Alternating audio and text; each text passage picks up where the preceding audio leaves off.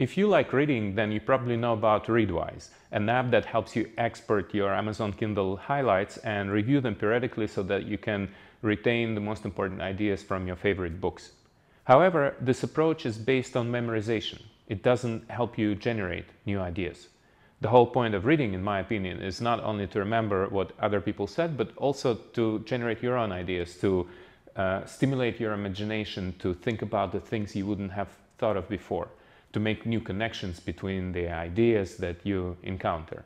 And this is where AI and knowledge graphs can be very helpful because instead of just reviewing the quotes that you extracted from the books that you like, you can visualize them as a knowledge graph, reveal the main concepts and topical clusters of ideas that are contained within, see the relations between them. This will already provide you a really good overview of the content of any book and of your own quotes that you extracted from it. And then as the next step, you can also look at the gaps in this structure. So what are the topics that are not well connected yet? And then if you think of a question or of an idea that would help you bridge those gaps, then you would fill in the gaps in the content and come up with new ideas and generate some interesting insights. This is the approach that I want to present to you today using an app that's called Infranodus that I created that visualizes any text as a text network, as a knowledge graph, and helps you identify those gaps so you can generate new ideas. We'll be using the Infranodus extension, which you can install into any browser, and all you need to do is just to open the Amazon highlights page and click the extension and then it's going to generate the insights for you. Compare it to the traditional approach that you have in Readwise where you have to open the app itself or an app on the phone and scroll through the quotes just to kind of reread them. Then you have to maybe choose the books that you would like to review. You could also probably rely on Readwise feeding you some randomly generated quotes, but it doesn't really think of the connections between them. Whereas using the knowledge graph, you can actually yourself choose which topics in which book you want to connect in an interesting way. And then think of the question yourself or generate a new idea using the built-in AI. And I would like to also emphasize that you don't even need an app for this. It's just an approach that we propose that you can use without any technology. When reading a book, uh, keeping in mind the most important ideas, the connections between them, thinking of the topics they form, and then always trying to point, point attention to the parts of the discourse that are not well connected, to the gaps in it. Because that will be a really interesting way to discover new ideas that touch upon the subjects that the book is talking about, but that is relating them in a completely new way. So if you're interested to learn how it works, keep watching and I will demonstrate step by step. In order to begin, we need to open the Infranodus app and once you're logged in, you can download the browser extension for Chrome browser or any other browser. And once you install it and pin it to your toolbar, at the top you can start using it on any page. So for example, let's open the Kindle highlights page. It's available on read.amazon.com. Once you open it, you will see all the books which you annotated so far. So in my case, I'm going to choose this book, Medical Nemesis, the, Ex the Expropriation of Health, written by Ivan Illich. And here I have my 70 or so, or so quotes from the book. Let's say that I would like to review them. So normally, if I used Readwise, I would open that same book in Readwise here. I would go into library and uh, open Medical Nemesis. The only thing that it proposes me is to review my highlights, which is okay, but you know, if you have a, a few of them, it gets pretty difficult. It's the same on Kindle. I can only review them. So this is where Infranodus comes in and where it can be really useful. You have the extension button here or at the top toolbar and once you click it, Infranodus will extract the information that you see on the screen. By the way, you can use it for any page, not only for your highlights, and visualize this data that it finds inside as a graph. The main concepts you use are the words and the concurrences are the connections between them. So that already gives you a really good visual overview of the main ideas inside you can see that this book is talking about medical nemesis, also health, and also work, and concerned with suffering and disease and sickness and life and so on. So that gives us a really nice overview of the main topics inside the book. Actually, if we click on topics, we will see high-level ideas. Uh, this book is about healthcare, pain management, disease control, and we can see more topics here. So that is a really good way to understand what the content of the book is about in a quick summary. By the way, you can also uh, use the built-in AI to generate the summary of this book.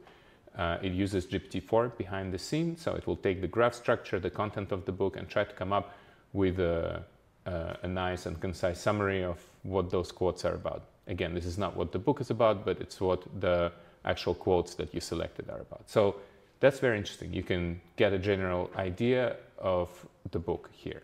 However, the more interesting part is that you can use the graph to identify the gaps in the content. So for example, here it's proposing us to make a connection between uh, one topic, which is illness labeling, and another one, medical pioneers. We can also reload the topic and say uh, that we want to connect the cluster of healthcare and pain management, for instance, right? And what I propose to do here always is to try to ask the question by yourself. So how could the idea of pain management be related to healthcare in the context of this book? And you can click here on the context and see the statements, which uh, could provide you some kind of indication of how you could connect those ideas.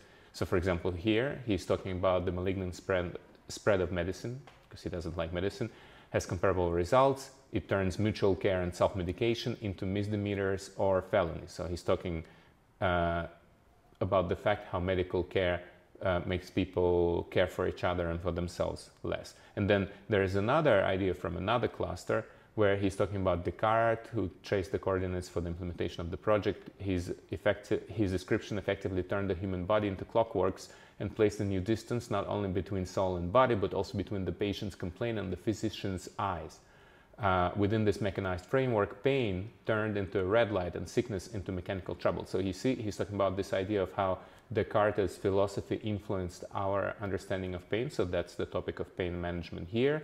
And then another idea uh, of how medicine or healthcare is preventing people from uh, mutual care and also makes them care about themselves less. So it's kind of like a criticism. And what the system proposes to us here is to think of a connection between those topics. So that's a very good way to develop your ideas in relation to the book because instead of just getting the quotes, you're actually trying to understand uh, what it is that you could be thinking about in relation to this content. And once you do that, uh, you can think of an idea and write it down. Or what you can also do is to use the built-in AI and generate a question for you. So then it will take those statements that it identified, the names of the topics, the keywords, the graph structure. That's very important because it also retains information about the relations between those concepts. And then it generates uh, a research question for you. How does the transition from personal and autonomous health management to an industrialized medicalized system impact the societal perception of pain and its role in shaping the human experience of life, death, and labor? So it's a highly philosophical question, but that also relates to health policies and our own understanding of pain. Uh, do we start to fear pain? Do we start to want to put it off and uh, use uh, some medical treatments or even drugs to suppress it? And what would happen if we didn't have this industrial complex in front of us? Uh, how, what would be the different ways to manage this pain? So that's like a really interesting insight that can come out from the book. And we just looked at only two topics. We can reiterate this process and choose more gaps. So for example, here, uh, illness labeling and disease control, and ask the system to generate a new question for us that would bridge a new gap, right? For example, here it's asking how does the transformation of medical practice from personalized artisanal care to generalized technical procedures influence the societal perception of sickness and health thereby altering the roles and identities of those labeled as sick or deviant. So also how society starts to see sick people different because of this uh, labeling approach that medicine or traditional medicine proposes and how they're treated in society. So that's like another very interesting question that asks about the impact on society. And as you can see here, we're not just reading through the quotes and trying to remember what the author said and maybe sometimes we would make connections, but it would be very difficult because they're organized in a chronological uh, format. Here we actually have the graph that helps us understand what are the gaps or underdeveloped uh, topical clusters inside this, this content and then generates uh, interesting questions that we can save uh, or use uh, elsewhere, you know, so you can even copy them and put them into your favorite uh, personal knowledge management system, or you can also save it directly inside Infranodus, and then it's going to be visualized as a graph for you. And then you can add some stuff uh, that you find interesting from those highlights.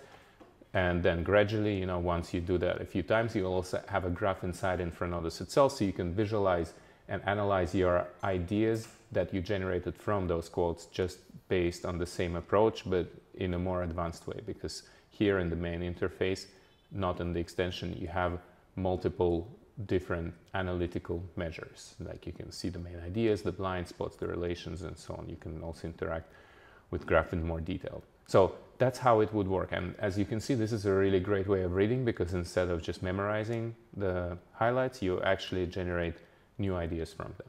By the way, you can also do this inside Readwise itself. So if you open those quotes in Readwise, you can, in the similar fashion, uh, load the Infranodus extension, and then you will see that there are some nodes.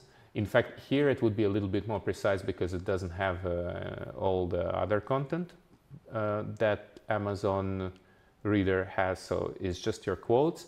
And again, you would use the same approach. You can expand the graph, visualize the gaps.